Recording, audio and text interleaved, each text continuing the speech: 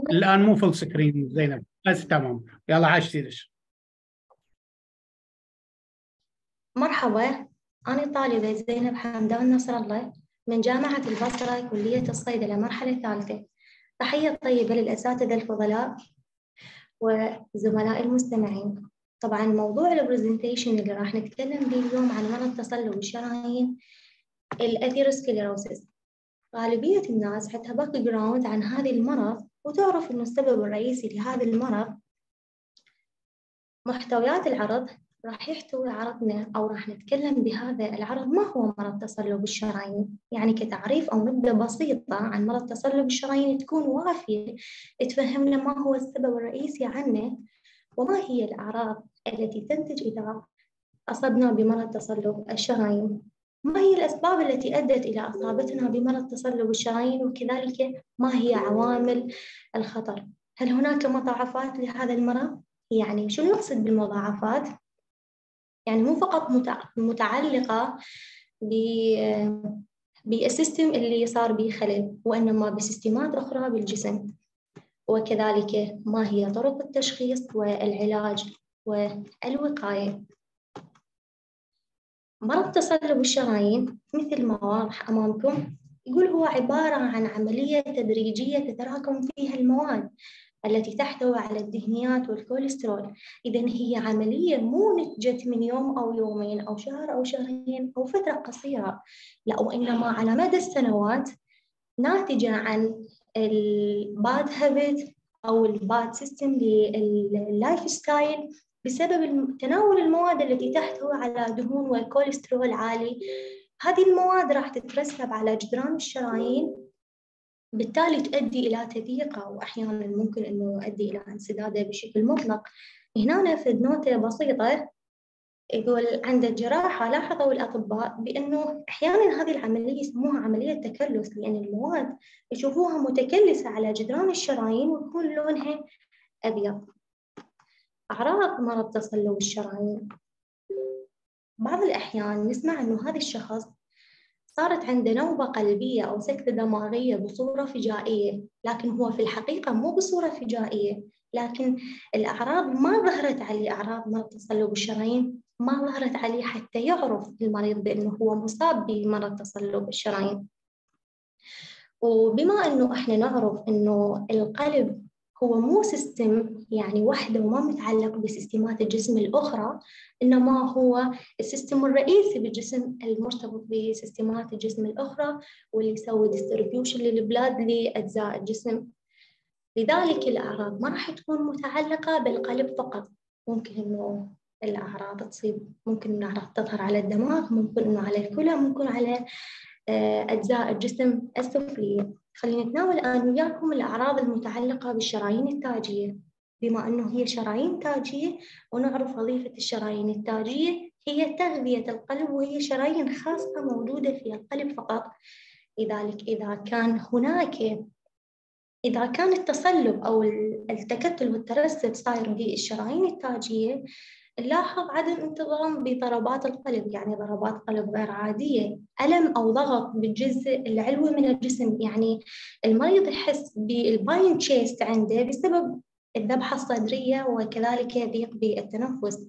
يعني أثناء ممارسته مثلا آه، إثناء ما يقوم بجهد بسيط أحيانا يحس إنه هناك انقطاع بالتنفس عنده أو صعوبة بالتنفس. والأعراض المتعلقة بالشرايين الدماغ بما أنه الأمر متعلق بالدماغ فخلي بالنا هناك راح يكون صداع حاد آه، خدر أو ضعف في الذراعين والساقين أحيانا صعوبة بالتكلم أو فهم شخص يتحدث وتدالي عضلات الوجه ومشكلة أحيانا في الرؤية.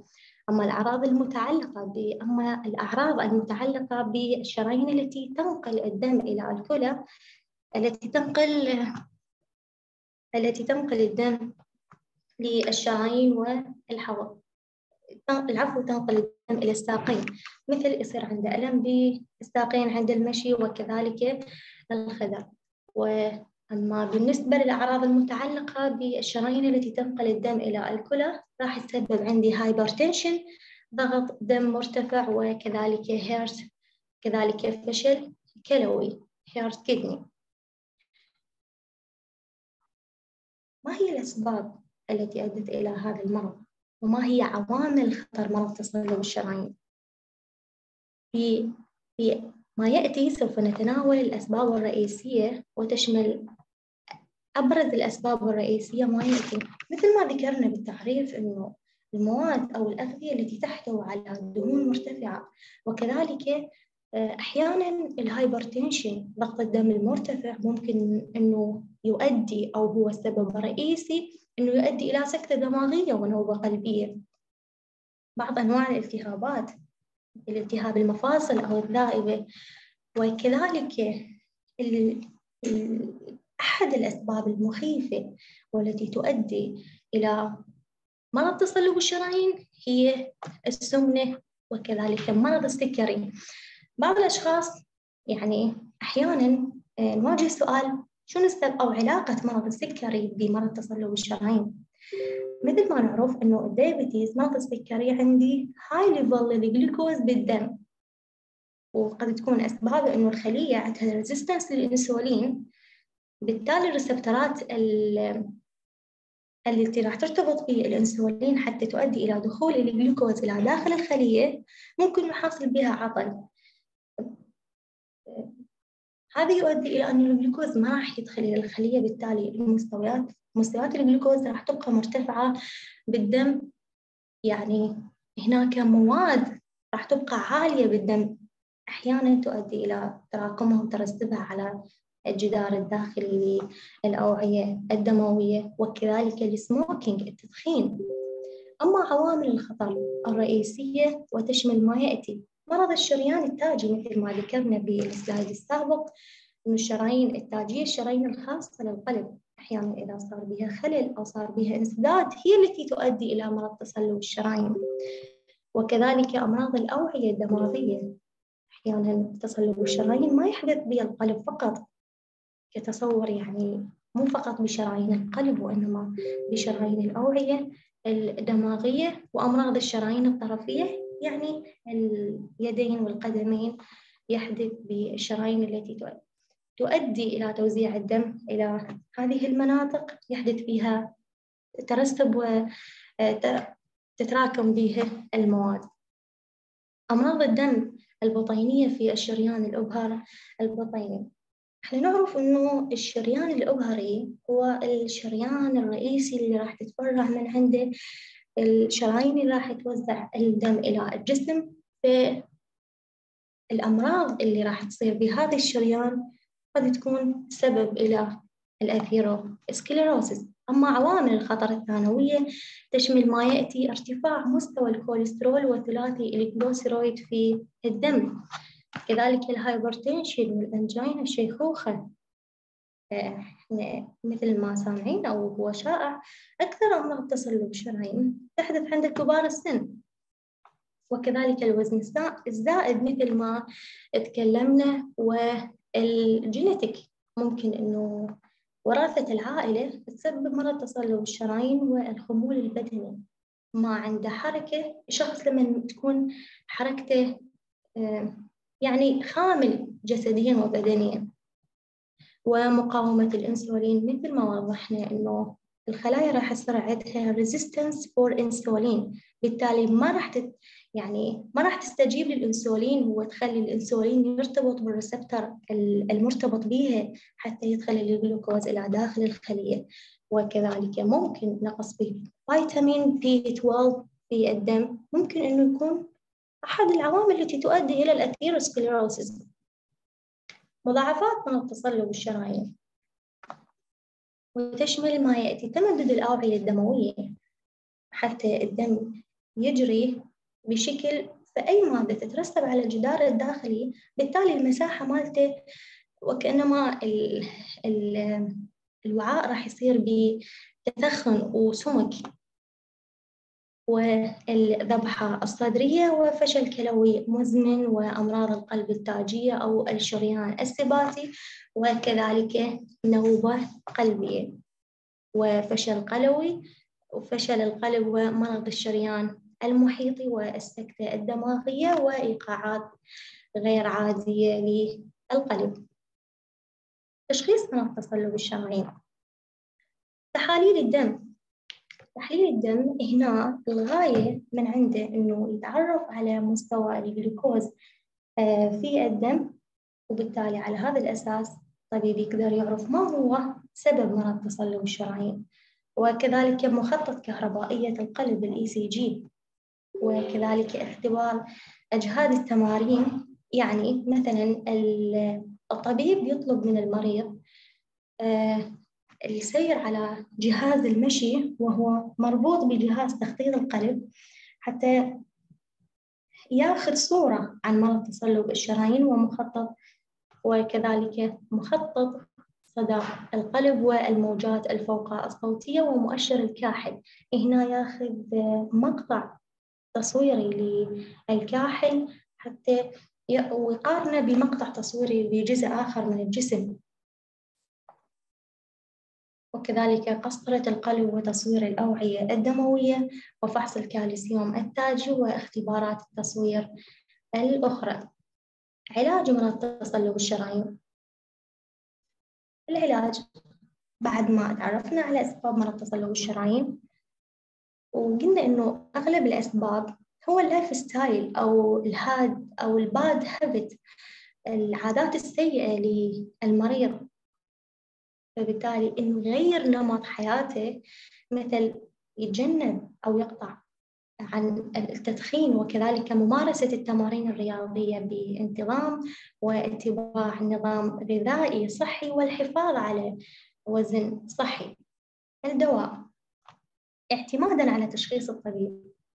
هنا الطبيب راح يعتمد على السبب الرئيسي الذي أدى إلى الإصابة بمرض تصلب الشرايين.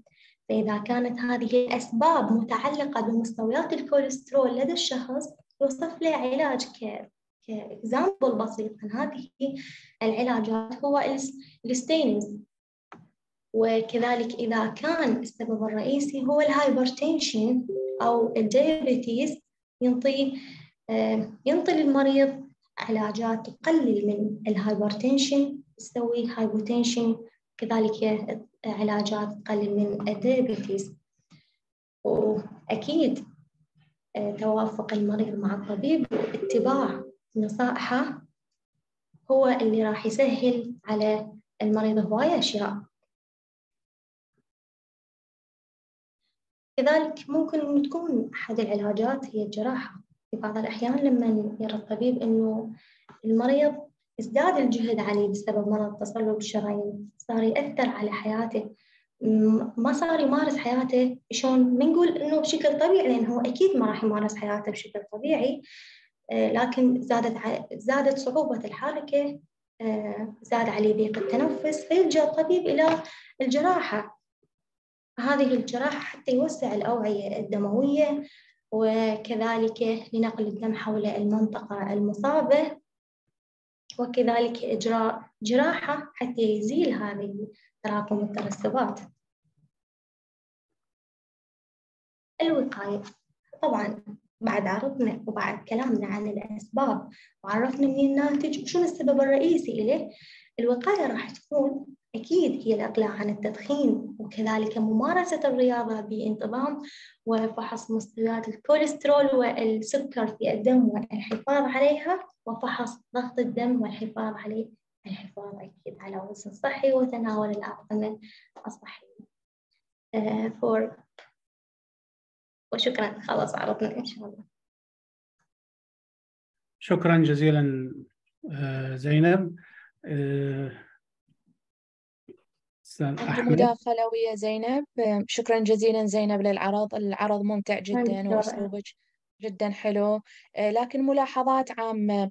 حجم الخط الصراحة كان صغير. يعني يا ريت إنه على المرة القادمة إن شاء الله إذا تصعدين ويانا للمستوى الثاني من المنافسات حجم الخط يكون أكبر أفضل شوية أريح أيضا للقارئ. إن شاء الله. تجنب استخدام الألوان اللي تكون شوية صعب على العين إنه تتقبلها مثل اللون الأصفر. يعني حاولي تقللين من استخدامه ولو أنت مستخدمته قليل بس يعني الأفضل إنه تتجنبين استخدامه. أه وفد شيء حلو ويكون أيضا إسناد إسناد للمعلومات. لو يعني ذكرين مثلا المصادر المصادر تكون بأسفل بال footer مالت ال slide. دكتورة علماء زينب موجودة زينب. okay تمام. أي لا موجودة. أي إي. لكن إنه ال transition ال animation كل شيء كان حلو ومرتب عاشت إيدك مشكورة دكتورة؟ تمام. أستاذ أحمد؟ آه، السلام عليكم. عليكم السلام. آه، معكم آه، دكتور أحمد سعيد آه، عضو التدريس في كلية علوم جامعة الأزهر مصر. أهلا وسهلا دكتور. أهلا وسهلا بحضرتك. آه، هو العرض جميل آه، زينب ما شاء الله وسلس هو بس نفس الملحوظات اللي قالتها آه، دكتورة علا آه، بخصوص الخط وبخصوص الألوان. بس في آه، ملاحظة بس علمية إن إن المفروض لما بنتكلم على حاجة آه، بصفة علمية زي أمراض معينة المفروض بيبقى فيه شوية من التفاصيل ما يبقاش آه، موضوع عام. يعني أنا لاحظت دايما إن بتقولي إن سبب تصلب الشرايين مواد تراكم مواد فلازم تحددي المواد اللي اتراكمت في في الأوعية الدموية هي إيه. فلازم تقولي إن هي الدهون والترايجليسرايد اللي هي ثلاثي الدهون وعلاقتها بالسكر إن آه، أو سبب أو سبب من أسباب تصلب الشرايين هو السكر لأن زيادة نسبة السكر في الدم هو اللي بيزود ال triglyceride أو آه، ثلاثية الدهون. عشان كده بي- بيسبب حاجة اسمها آه، قدم السكري.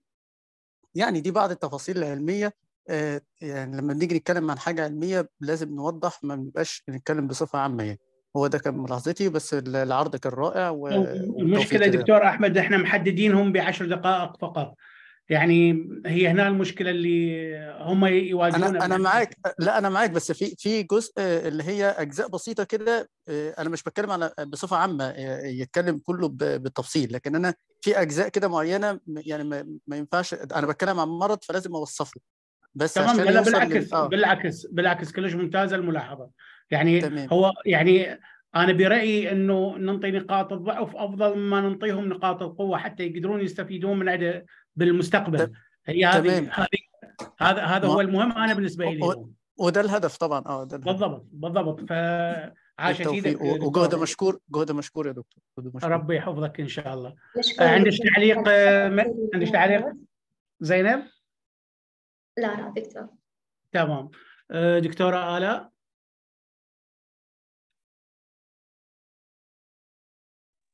أوكي يعطيك العافية. آه، سلايداتك كتير حلوة وتعبانة عليها كتير عجبتني. آه، بس المرة القادمة إن شاء الله لما تتأهلي كوني أنا بحب الصيدلة وطلابي صيدلة فبدي أغششك عشان تتأهلي. آه، أو لما تتأهلي آه إنك تزيدي صور okay؟ بس للمرة الجاي إذا تأهلتي الله يرضى عليكي بدنا صور أكثر تمام؟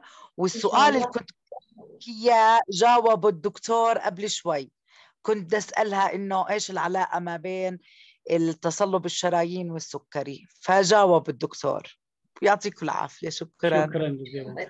آه، يمكن نفس ملاحظتك الحوراء قبل شوية إنه آه، وأنا دائما أقولها حتى للاساتذه اللي يشاركون ويانا أنه قدر الإمكان بالأونلاين نقلل من الكتابة ونزيد من الصور والرسوم. لكن بعض الأحيان تحكم يعني القصة أو الموضوع اللي آه، نريد نتطرق له قد يكون قليل الصور آه، يحتاج أنه نضوي كتابة على الموضوع.